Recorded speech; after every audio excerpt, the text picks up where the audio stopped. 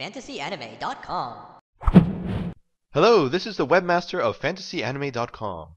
So one of the features that my website offers is that every RPG that I have shrined has a complete collection of periodical game saves, meaning you can continue an RPG at any significant point in the game. This is so that if your computer crashes or for any other reason you lose your saved position in an RPG, thanks to my saves, you can continue pretty much where you left off. Isn't that great?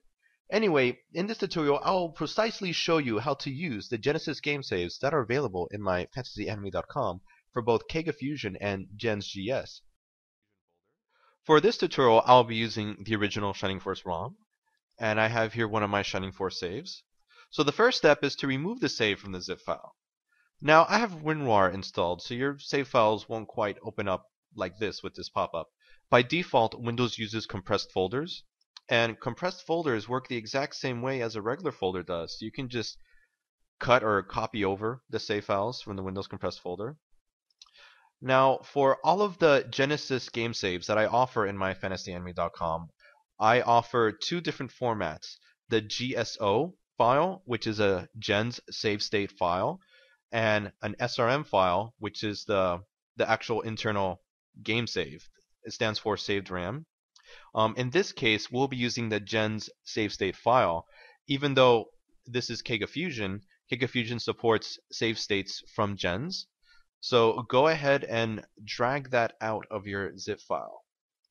Oh, and also, you may not be seeing the GSO file extension on this save state file because by default, Windows hides file extensions. So to enable the file extension, press the Alt key on your keyboard and click on Tools, click on Folder Options, and click on the View tab, and look in Advanced Settings, and look at Hide Extensions for Known File Types. If there is a check there, remove that check and click on Apply and OK. And you should see the GSO file extension. And now we need to rename this save state to the exact name as the ROM. So to do that, I'm going to pretend to rename the Shining Force ROM just so that I can right click and copy its exact file name and then I'm going to rename the save state file. And I am pasting the exact file name as the Shining Force ROM. So now to test it out and see if it works. So I'm opening up Kega Fusion going to File load Genesis 32X ROM, opening up Shining Force. It's opened. Now to open the save state, I'm going to File, Load State As, loading the GSO file, and there we go! It works! And now for gens.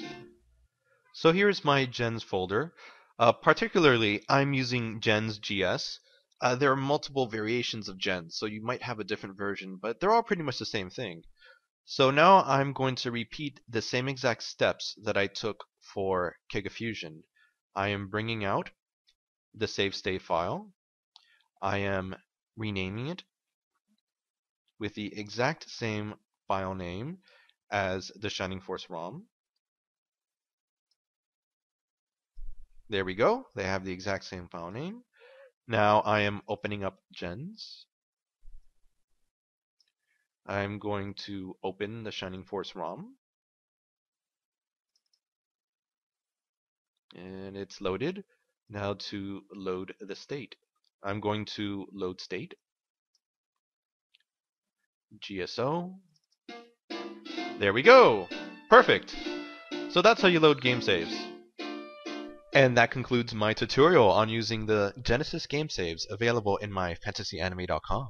If you have any further questions, the fastest way to reach me is to contact me via fantasyanime.com when you click on contact. If you message me here on YouTube, you may not get a prompt response. Anyway, enjoy the saves, yay!